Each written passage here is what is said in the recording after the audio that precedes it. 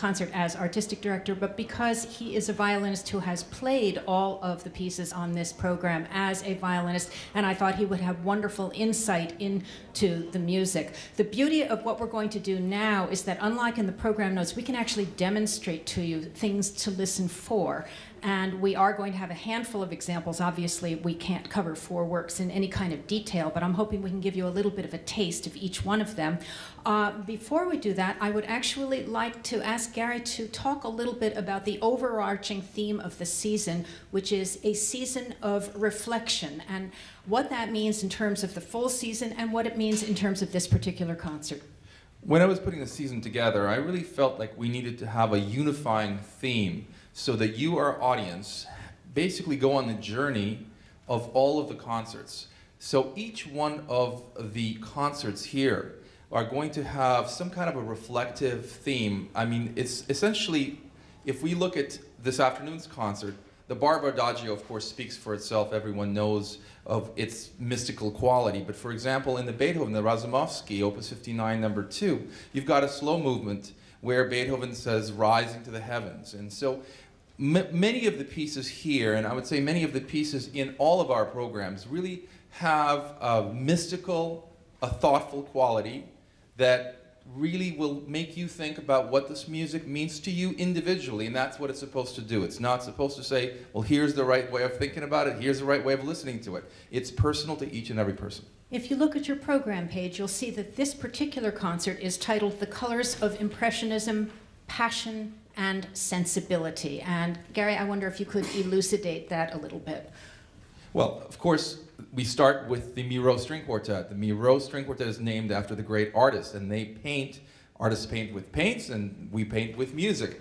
And so the Miro String Quartet, playing the Ravel String Quartet, the master colorist. Now, Ravel is very interesting, at least to me, because as a string player, somebody who spends a lot of time playing in the orchestra as well, you see that the way Ravel kind of approaches string playing is with color mostly. He doesn't give the violins, the cellos, the basses that much melody per se. In, in fact, he, he gives most of it to the woodwinds, oftentimes to piano, and to the percussion. But what we have here is a master colorist, and he wrote this work in early 20th century.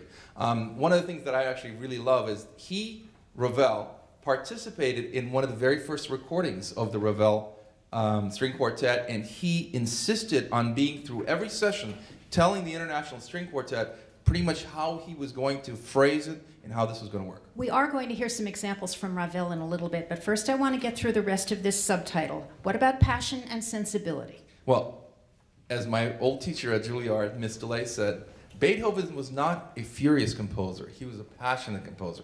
And no better example than Opus 59, number two. The sensibility, I, I, think in many ways, you've got the sensibility of Barber here, reflective of everything we're doing, kind of the glue that holds this program together. And sensibility in the Jane Austen sense, I think we're also looking at people who think about their feelings and people who have both an intellectual and the idea of the heart participating in something that appeals to us from multiple aspects. We would like to start with a little bit of a sampling of the Schubert String Quartet, number 12 in C minor, D703. The D stands for Otto Erich Deutsch, the guy who cataloged Schubert's works, much as cataloged the Mozart works. So you get the K with Köchel, uh, uh, with Mozart, and you get the D with Schubert. This particular work is singular on a number of levels because it is one of many works that Schubert left unfinished. And yet, it is one of those works that has secured a really good place in the repertoire. Virtually every string quartet plays this quartet, even though it's one movement. I wonder, Gary, as a string player, can you tell us why string players are drawn to this work? Obviously, it's passionate. It's incredibly passionate, but there's a structural difference, an inherent structural difference to this work that is different from many of other Schubert's work. For example, many of you, I'm sure, know the Unfinished Symphony. The opening of it is very similar in texture to what you're about to hear. However, what you're about to hear, the strings, when they open, it is in fact melodic. Whereas in most Schubert works, especially in, when you look at Lieder, when the piano has to quote unquote accompany, it is harmonic, it is textural, it's setting up something else. Why don't we hear a little bit of the opening?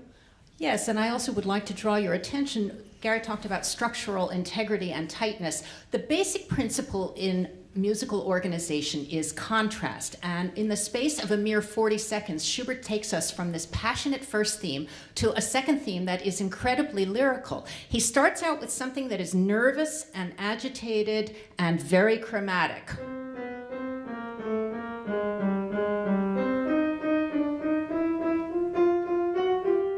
Then his second theme is just.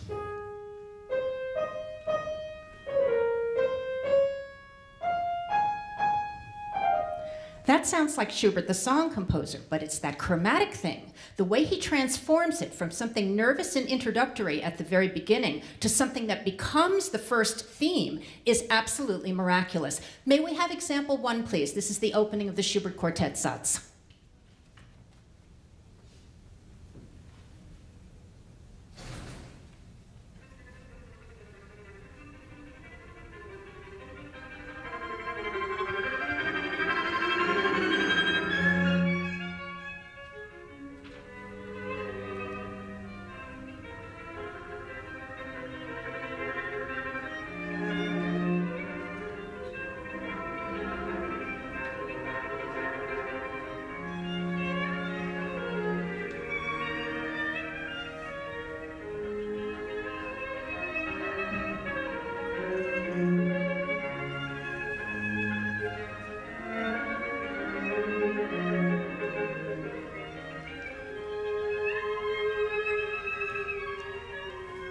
So, in the space of just a few seconds, he takes us from that intense agitation, that passion of the beginning, and takes us automatically to a song melody that is a complete change of pace.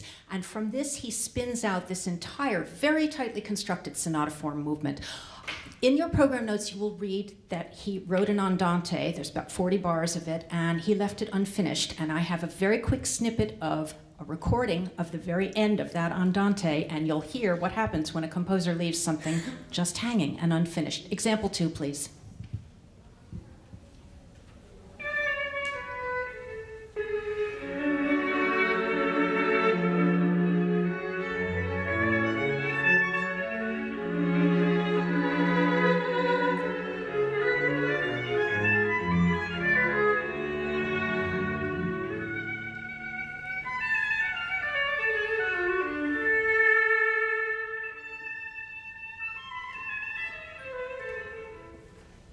So you hear he had written that much of the first violin part. He'd stopped filling in the lower parts, and don't we wish that he had finished the full quartet? Mm-hmm. But we're going to start our program with that with that one movement, which is just magnificent.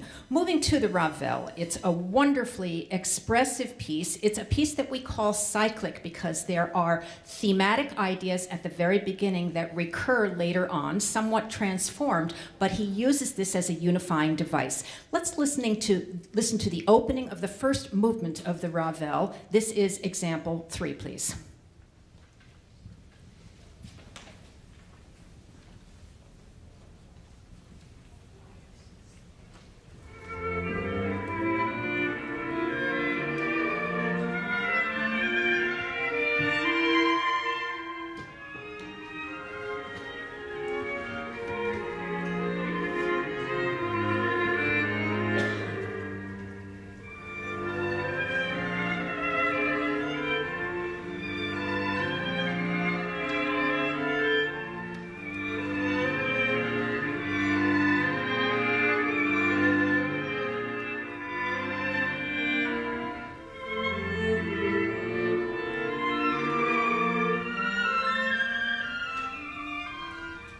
Can hear that this work is firmly rooted in F major, and he starts out with this motive. That's the one that's going to come back again and again in various guises throughout the balance of the quartet. The next example that we have is from the assez vif, très rythmé, which means very lively, extremely rhythmic. It starts out with pizzicato, and then you'll hear a little bit of arco, which means one of the players starts using a bow, but then you'll hear the combination of the pizzicato and the arco. It's one of the most original movements in the entire string quartet literature. May we hear track four, please?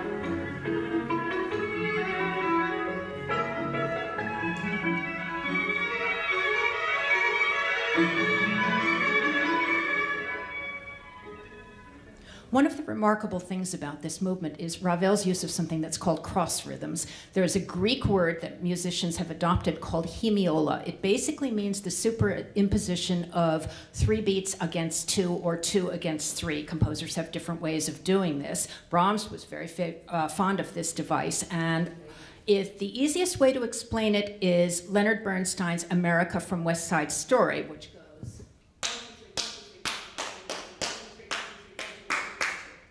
I want to live in America. I want to live in America.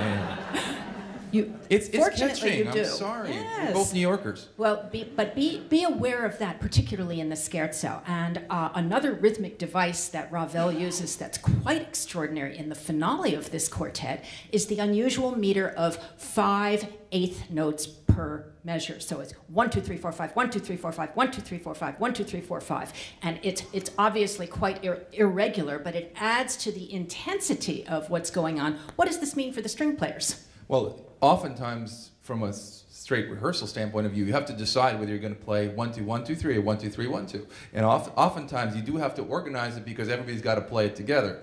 In this case, it's actually very interesting because Ravel does mark. He doesn't want you to divide it, subdivide it two or three, or three of two. He wants one, two, three, four, five, one, two, three, four, five. So you get almost a spinning wheel type of a feel to the to the stroke. And when you listen and watch the quartet, I think you'll see that there's, there's a certain way to organize the beginnings of the bars where there's a fluidity to the middle and the end of the bar. There is an example that we have that is from the finale to the Ravel. It starts about 15 seconds in because it's sort of a take no prisoners opening. He really seizes your attention. If you thought you were nodding out because the slow movement was so beautiful, you're definitely going to be awake when they start the finale.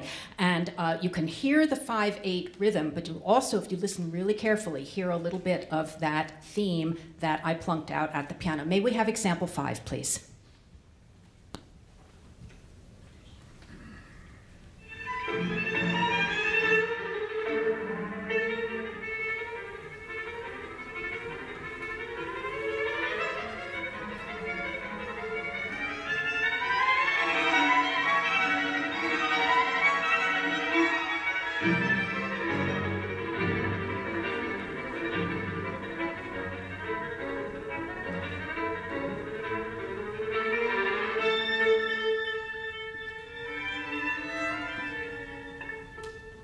Did you hear at the violin entrance there, that reference to the opening theme from the first movement? It's very subtle, but there's things like that throughout the entire quartet, and that is what we mean when we use the term cyclic. There is another sort of a unifier to Beethoven's Razumovsky quartet, the uh, Quartet Opus 59, number two, which is the anchor work on the second half of the program. It was one of three quartets commissioned by a very wealthy Russian nobleman who maintained a residence in Vienna. He was so rich he had a resident string quartet. He was passionate about music. And when he gave Beethoven this commission, Beethoven hadn't written quartets in a very long time, not since his very early quartets, the six of Opus 18, which have made frequent appearances on this series in the past. But the Opus 59 quartets we have not heard. And uh, this one is particularly wonderful. What makes it special, Gary? Well, one of the things that makes it special to me is Count Razumovsky himself. You know, he was the Tsar's ambassador to Vienna. And besides being extremely wealthy and well versed, he loved a young Beethoven. And what I often think about in this is Beethoven, we don't really realize, was a working composer. And so a few years back, he actually sent some violin sonatas to the Tsar because he wanted a job there. And he sent these scores to the Tsar, and the Tsar said, Very nice, I don't care, stay in Vienna. So, you know, this, this was kind of one of those things where I think he wanted to almost prove himself to the Russians, and he did a great thing here when he wrote these masterpieces. They're, they're full of innovation. In fact, um, a lot of the critics said, wow, this is very interesting, but I don't know if our ears are ready for it, whereas in the 21st century, they absolutely are. One of the points that I would like to make to you, it's in your program notes, but I want to be sure that you have it in your ears as well, is that for some reason when Beethoven wrote in the key of E, whether E major or E minor as his home tonality, he kept every movement in E. He did not move to a relative key or a nearby key. It is customary to change keys in movements, but he kept everything either in, in this case, E minor or E major and that is the explanation in the third movement. You see it says allegretto, maggiore, minore. Those are just the Italian words for major and minor. And essentially, it's the format of a scherzo and trio. It's just that he's taking it initially at a more relaxed tempo. What the Count asked him to do was to incorporate a Russian tune, and Beethoven actually wrote the words Thème russe, Russian theme, in French, which was the language of publication. Uh, I guess the Germans and the Austrians had an inferiority complex about their own language until later in the 19th century. And he actually wrote this tune in. It is the maggiore section, which is essentially the B section, the trio section, if you will, of the quartet. He starts it in the viola and he moves it through all four instruments. Any of you who knows opera may recognize this tune because Mussorgsky used it in the opera Boris Godunov in the coronation scene, and Gary, I believe Tchaikovsky used it also? Yes, it's called the Slava.